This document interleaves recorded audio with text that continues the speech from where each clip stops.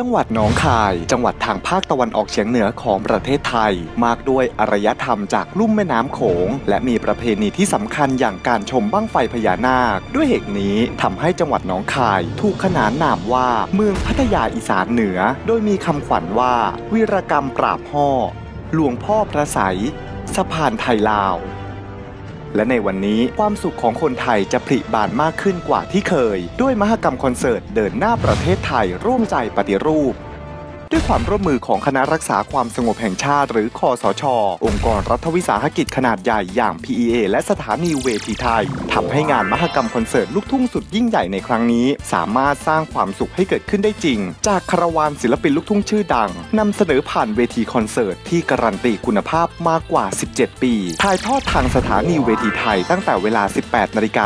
15 นาทีถึง 22นาฬิกาและเทปบันทึกภาพทางสถานี NBT เวลา 23นาฬิกา30 นาที ทางการไฟฟ้าของเราก็ได้รับการมอบหมายจากทางจังหวัดหนองคายนะครับ ให้เป็นผู้ดำเนินการดูแลรับผิดชอบเกี่ยวกับเรื่องเครื่องไฟฟ้ากำเนิดสำรองนะครับ ซึ่งเราได้รับการสนับสนุนจากการไฟฟ้าส่วนภูมิภาคเขตหนึ่งภาคตะวันออกเฉียงเหนือนะครับ โดยได้จัดรถโมบายขนาด 300 กิโลวัตต์จำนวน 2 คันนะครับ มาช่วยสแตนบายสำหรับงานคอนเสิร์ตในครั้งนี้ นอกจากนี้นะครับในส่วนของ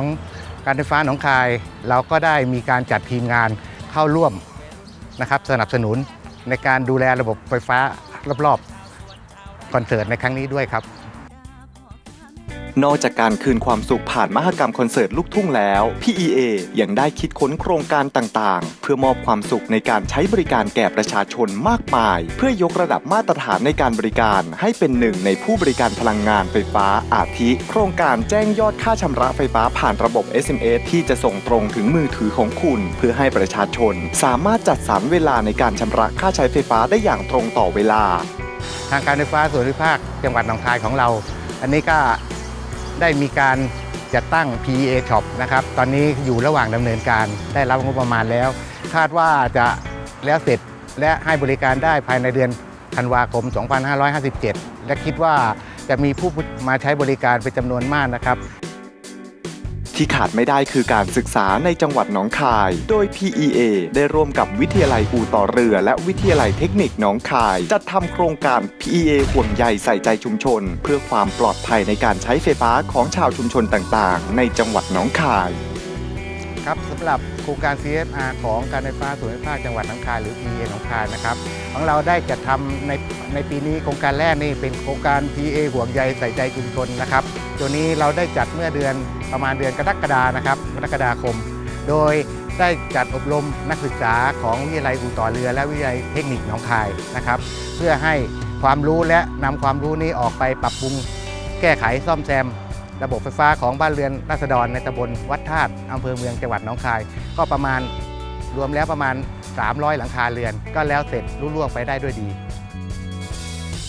และอีกหนึ่งความสนใจของคนไทยทั้งประเทศ อย่างกีฬาวอลเลย์บอล PEA ก็ได้จัดการแข่งขันวอลเลย์บอลเยาวชน PEA ชิงชนะเลิศแห่งประเทศไทย เพื่อสนับสนุนความสามารถด้านกีฬาของเยาวชนไทยให้เติบโตเป็นนักกีฬาทีมชาติที่ดีในอนาคตนั่นเอง บริการรวดเร็วนะคะ แล้วก็เจ้าหน้าที่พูดจาประทับใจบริการดีเป็นกันเองค่ะอ่าการบริการดีมากครับเป็นการเป็นการบริการที่อ่าทำให้ประชาชนเราอ่าอุ่นใจนะครับ แล้วก็ใช้บริการได้เต็มที่ครับผมบริการดีนะครับรวดเร็วดีครับสะดวกขึ้นครับผมครับก็ดีคือดีขึ้นมากดีเยอะเลยครับ สะดวกรวดเร็ว แล้วก็อ่าเจ้าที่คอยบริการให้คำแนะนำดีมากครับผมก็ ดีนะคะ ใช้รวดเร็วทันใจดีค่ะ สะดวกรวดเร็วแล้วก็เหลือเวลาไปทำอย่างอื่นด้วยค่ะ โครงการ Road to LED ค่ะ เพราะว่าเป็นโครงการที่จะอ่ารณรงค์ให้ทุกบ้านเปลี่ยนหลอดไฟมาใช้หลอด LED จะช่วยให้ประหยัดพลังงานค่ะ ด้วยรูปแบบการบริการที่รวดเร็ว และความห่วงใยแก่ประชาชน ทั้งทางด้านร่างกายและจิตใจทำให้ PEA ยังคงพัฒนาการบริการอย่างต่อเนื่อง รวมไปถึงการรับข้อร้องเรียนติชมต่างๆ ผ่าน 1129 PEA Call Center เรื่อยมา ครับสำหรับเบอร์ call center 1129 ของ PEA นะครับเป็นการให้บริการตลอด 24 ชั่วโมงสำหรับผู้ใช้ไฟทั่วๆไป เพื่อจะสอบถามข้อมูลร้องเรียนหรือติด ตามข้อมูลต่างๆ ของการไฟฟ้าได้ตลอด นอกจากเบอร์การไฟฟ้าที่มีอยู่แล้วนะครับ